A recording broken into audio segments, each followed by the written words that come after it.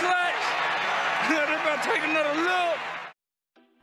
One of the age-old questions in the NFL is who is actually the better receiver between Terrell Owens and Randy Moss. Playing in the same era, these were probably the two biggest receivers that dominated NFL defenses in the late 90s and 2000s.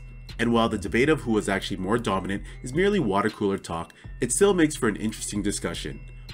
When comparing two players of the same position, the initial reaction is to compare individual stats. However, in this particular case, that might be a little difficult to dissect. Looking at their career totals, it's amazing how their numbers are pretty identical. Terrell played 15 seasons to Randy's 14 and inches out on the former Vikings receiver in career receptions and receiving yards. Moss, on the other hand, nearly beats out T.O. for most career touchdowns and has a slightly higher yards per catch. However, this is where all the similarities between the two receivers end. Terrell was a big body receiver who was known to extend plays gaining yards after the catch and made every offense he played on much better. Conversely, Randy was a receiver who was basically a freak of nature. Known for his speed and his ability to high point a ball in the air, this birthed the catchphrase You Got Mossed on every football field across the nation. That being said, on September 28, 2003, the two would meet up for the very first time as San Francisco traveled to Minnesota to take on the Vikings. This was a matchup between the league's two premier receivers, and rightfully so, there was a lot of hype heading into this game as Owens had missed the previous encounter back in the 99 season. But for what it's worth, Terrell was only Terrell back then, and it wouldn't be until the 2000 season when he actually became T.O. Nonetheless, this was a game to remember for Randy Moss and a game to forget for Terrell Owens, largely due to the lack of production on the field, followed by a tantrum on the sidelines and a post-game rant where he basically trashed his quarterback and the offense. Billy Martin, straight from Brooklyn, better known as Brooklyn. Never taking shorts because Brooklyn's the bomb. Heading into this week 4 matchup, the 49ers got off to a rocky start in the season as they lost two of their first three games against the Rams and Browns. To make matters worse, both games were lost in heartbreaking fashion. Against the Rams with 9 seconds left in a tie game and holding one timeout, 49ers quarterback Jeff Garcia connected with Cedrick Wilson, who proceeded to stay inbounds and run down the middle of the field before the clock hit zero. San Fran could have won the game with a field goal had the receiver stepped out of bounds, but this blunder would ultimately cost them the game as they would lose in overtime and in the following week against the Browns, San Francisco were up 12-0 at home in the fourth quarter, but ended up losing 13-12. They were a banged up team, especially on the O-line, so heading to Minnesota was always going to be a stern test for this offense. The Vikings, on the other hand, had just won three straight divisional games against the Packers, Bears, and Lions and were sitting comfy in the NFC North, However, after an injury sustained by their starting quarterback Daunte Culpepper against the Lions, Minnesota were tight-lipped if backup QB Gus Frerotte would be starting on Sunday. The Vikings had a plethora of attacking options in both the run and pass, as they were probably the most well-balanced offense early in the 2003 season. Both receivers came into the weekend being among some of the top NFL receivers after three weeks. So the stage was set and all eyes were on the Metrodome as this game was built to have a lot of fireworks. The Vikings immediately got the ball rolling with backup Gus Frerotte as he led the offense down the field on their first drive before throwing a lob to Randy Moss for a 15 yard touchdown. The 49ers offense continued its struggles from the week before as Garcia threw a pick right into the hands of Vikings DB Corey Chavous for his fourth interception of the season. After an incomplete pass, the Vikings ran the ball on the next 7 plays, which ended with Onterrio Smith rushing up the middle for 5 yards for a 14 0 lead late in the first quarter. Quarterback Jeff Garcia couldn't get much going on offense, and even when he targeted his number one receiver, T.O. dropped the pass.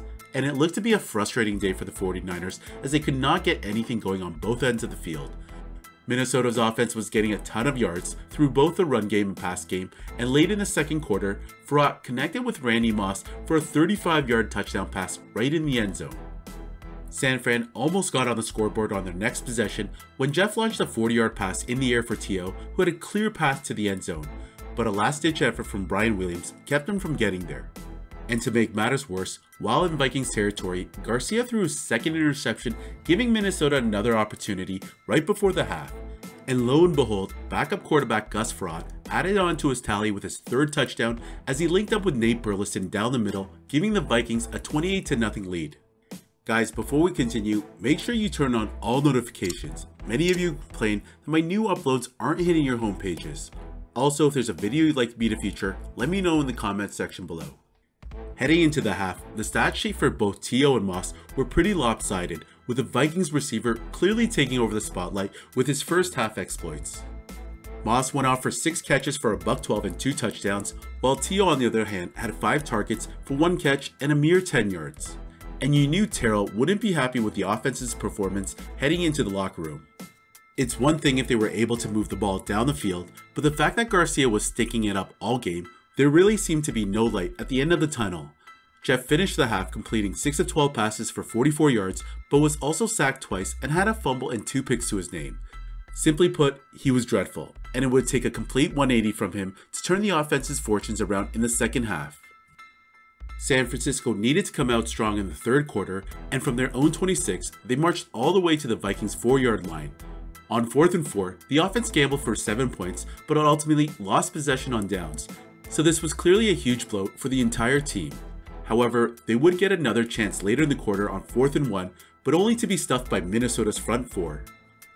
The 49ers offense could not find a way to crack Minnesota's defense, and in the end, the frustration would boil from the field and onto the sidelines as T.O. began to throw a verbal tirade on his own offensive coordinator, Greg Knapp. Owens at this point only had two catches off of seven targets, and feeling he was the only real viable threat for the offense, this really had to hit a lot of nerves. On top of that, on the other side of the field, Randy Moss was just outstaging T.O. On the Vikings' next drive, the offense put the nail in the coffin as Frerotte found Moss once again for a 59 yard touchdown pass. The former Marshall receiver was able to slip past two defenders and haul in his third TD of the game for a 35 0 lead. With the game all but over, Greg Knapp pulled Garcia out of the game in place for backup Tim Rattay. The 49ers pulled one back before the final whistle, with the final score reading San Francisco 7, Minnesota 35. Quarterback Gus Frerotte had his best game, throwing for 267 yards and 4 touchdowns with a 157.2 quarterback rating. Randy Moss's performance overshadowed Terrell Owens, and after the game, T.O. gave a post-game interview where he began campaigning for backup Tim Rattay to take over the starting quarterback position. I worked my butt off rehab-wise just so I could be ready to, to come in here and try to be ready for the season opener to help the team. I mean, I'm, I'm about I mean, I'm yeah, I'm I'm out there playing. I'm out there beating guys. I mean, what else? What else can I do? I'm doing the things designed for us to do in, in the offense. I'm, I'm trying to get a release.